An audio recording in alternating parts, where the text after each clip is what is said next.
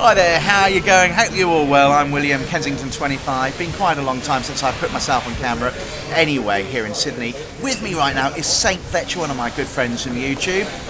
How are you, Saint? G'day, it's the Saint here, coming at you loud and proud, more so than the Aussie bastard. it's like stole his gimmick there. Yeah. What shall we talk about? I'm totally stuck for subjects to talk about. So am I. Um, we were just talking before about the Perth gathering, which um, you didn't know about. Um, apparently, um, I only just found out about it last night. I, I went on to Angry Aussie's channel and there's a Perth gathering coming up. I think it's October 29 or something like that. It's coming up pretty soon. So, yeah, I'm trying to look through my accounts and work out, oh, can I afford it? Tiger Airlines or something for me. But uh, that's really interesting, Perth. I haven't been there for so long now. It's been about nine years for me. It's an absolutely beautiful city. I love the Swan River in Perth, Freo, Fremantle. Very friendly city. Uh, about 40% of British immigrants actually move to WA, Western Australia. But I never knew about this gathering, but I'm really tempted to go. There's also one in Adelaide in November that I'd like to go to. Never been to South Australia. And there's one in Gosford coming up, which is a little bit more local. But do you know much about the Perth gathering? I only know from what I saw from um, Angry Aussie's channel. Um, it sounds like it. It sounds like it's an official YouTube gathering this year because we haven't had one yet. So Angry Aussie's behind. Well, he's one of the people who's backing well, he's promoting it. it so, um, so I would imagine that it's a. Um, it's it's going to be a, a, an official gathering. I would imagine. I might be wrong. Because I think they had one a, a small gathering in Perth around June or July, I think, if I'm right in thinking. Which would be very sensible because you have to evolve a local um, group before you know something works. Um, one thing with Sydney before we had the Sydney gathering is we didn't really evolve a group in Sydney, and one of the challenges that we had was finding our own group and we were relying on other states to organise the Sydney gathering. And I know for um, English Tea Boy, High English Tea Boy, it was really a challenge to have a, a major gathering when we hadn't had anything in Sydney other than there was a YouTube party which YouTube itself organised, you know. And I think the great thing about a Perth gathering is that what people in Australia often don't realise, outside Australia rather, is how big Australia is. And it's quite easy for people in Melbourne or uh, Sydney or Queensland or Brisbane to meet, even though that's quite a distance. But Perth is five hours flight from somewhere like Sydney or Melbourne. So it's not easy for people from Perth or WA to come over to the gatherings in the east of Australia where most stuff happens. So I think it's a great idea.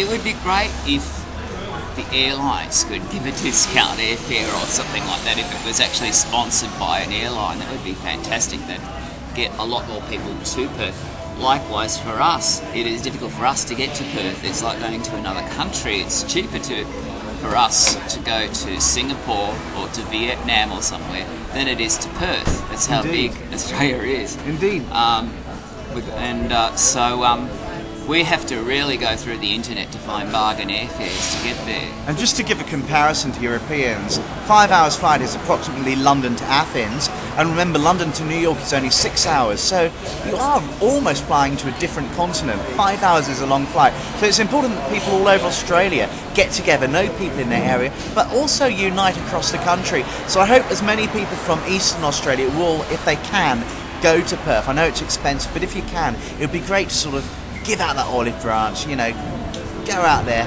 unite, bond a little bit, and say hello to all those Australians on the western coast. I'm looking forward to seeing the ocean and the sunset um, on the east coast. Um, I love the water and the seascapes, and we, the sun does not set over the water in the east coast, but in Perth, because of the Indian Ocean is west, the sun actually sets into the ocean and it looks completely different to anything we've got on the east coast. I look forward to seeing that, um, whether it's Fremantle or um, Rottnest Island or wherever. And Margaret River, I'd really want to see that. There's, there's a whole lot of stuff that I, I haven't seen. I've, I've been to Perth before, there's still a lot of stuff I haven't seen in Perth. And uh, something as simple as a sunset just um, I find really appealing, you know. I want to see their famous black swans. When I was in Perth nine years ago, I never saw these black swans, but apparently they are there. They're a big symbol of where Perth and Western Australia. I believe you've never seen a black swan. Do they really exist? Yes, of course they do. I want to see a black swan. I've got to see a black swan. I can't believe you've never seen a black swan. I can't believe I've never seen a black swan, but I definitely want to go to Perth. I, I'm actually, the more I'm talking now, the more certain I am that I'm probably going to go. Um, there's another, as I say, there's another gathering soon in Adelaide and one in Gosford. Tell me more about the one in Adelaide. I, what, do you know? Do you know what it's called? I don't know what its name is. It's sometime in late November, mid to late November. I really want to go. I think people like Sammy will be there, Aussie Ninja, and a few others from that part of the world.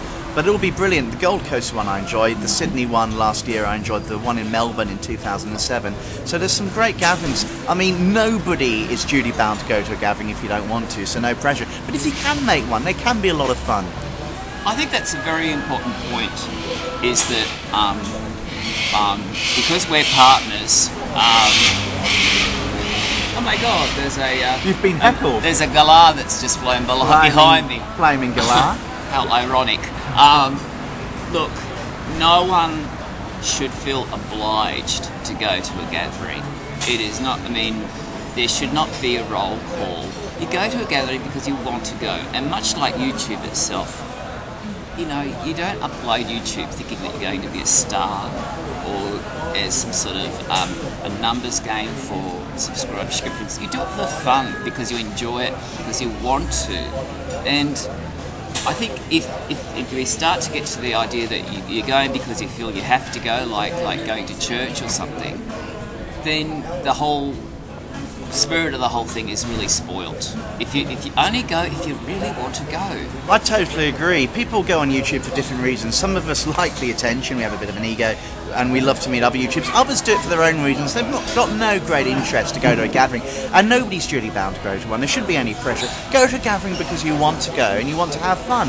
Go for the right reasons, and I go because I enjoy them. But above all, it gives me a chance to visit places in Australia I might not usually go to. And I do videos in those places, and I make friends, and I meet new people. For me, it's a community. That's why I go. We've all got our reasons for going. So if you can make a gathering, do go. Check them out. If it's for you, brilliant. If it's not, then brilliant too. I'm sorry to hear that. But only go if you want to, and never feel pressured into going to one.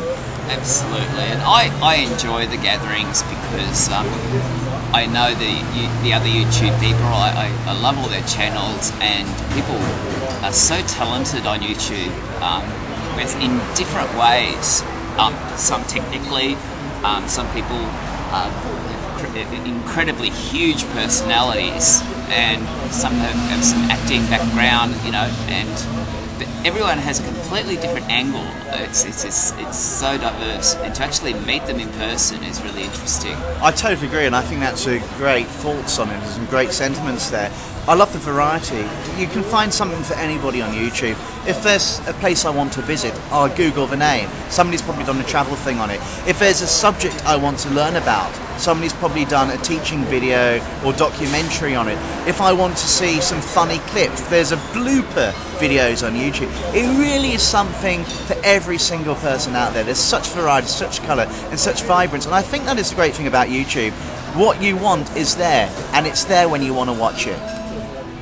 Absolutely. And if anyone in um, Johannesburg is watching, Perth is actually um, the cheapest place for you to travel to in Australia. I know it's a lot cheaper for them to go to Perth than it is to Sydney, as you can imagine. It'd be interesting to see if any South Africans are interested in going to Perth. You know, you are most welcome to come to Australia to a YouTube gathering. I, I think that would be wonderful. Or anyone from Singapore. That would be fantastic, wouldn't it? I think it's great to get our neighbours in. I have flown twice from Perth to Johannesburg, and it's a long flight, but it is the nearest place. I remember I was on the beach in Durban, and it's the Indian Ocean. It's facing Western Australia. I remember looking out, thinking, thousands of miles out there, thousands of kilometres, there is Western Australia. So anybody in South Africa or Singapore or Thailand, Indonesia, wherever, or New, definitely New Zealand. Let's not forget New Zealand. If you can get to the Gosford, Adelaide, or Perth gatherings, please do come along. You'll be more than welcome.